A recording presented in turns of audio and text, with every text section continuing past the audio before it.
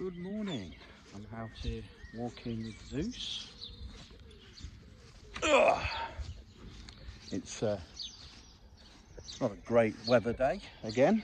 Not uh, we've not seen summer come through yet. I think we had one day the other day when it was sunny and we were all hopeful, but oh no, the clouds and the rain and the drizzle are back again. And I'm sure I'm not alone where you look at all of that, you look at the weather, you look at your day, and you think, oh, another day. It's raining, it's not right, it's not sunny. And we all start to look on the downside of everything. We're all guilty of it. I know I am. So I saw a podcast. I like listening to podcasts. I was listening to Jimmy Carr on the Diary of a CEO the other day, and he said something very profound. It's had me thinking quite a lot lately. And then it's just reinforced that. I heard a, on TikTok this morning, I heard somebody else. I can't remember a name offhand at the moment, but I'll I'll add the link and I'll tag her in the link in the bottom. But uh, basically, they were talking about happiness, and with Jimmy, Jimmy Carr, he was saying to Stephen, Stephen Bartlett, he asked him this question.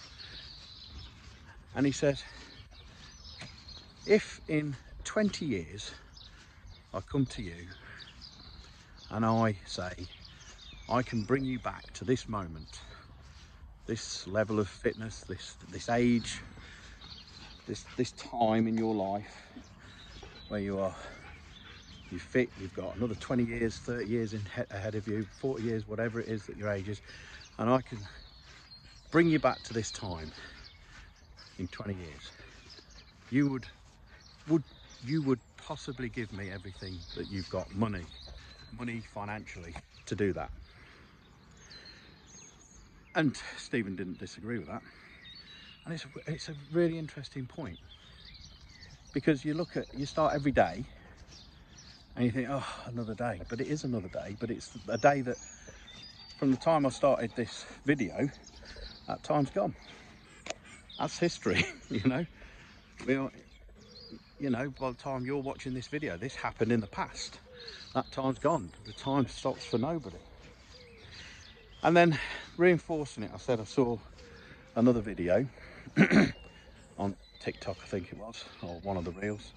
And the lady was saying, she was talking about five words for happiness and she was talking about some studies that she'd looked at about when people win the lottery versus um, oh sorry bad camera work there. Uh, they have a level of happiness where they were before they won the lottery and then when they win the lottery they're ecstatic and then that happiness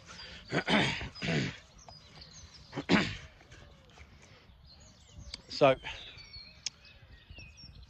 so this lady was talking about five words. And it really made me think and it made me remember this this uh, this story of the CEO with Stephen interviewing Jimmy Carr.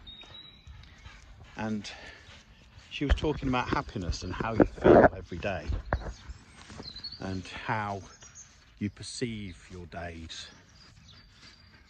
and how everybody has a baseline of happiness, but they take it for granted. And you don't realise how happy you are because you're always looking at the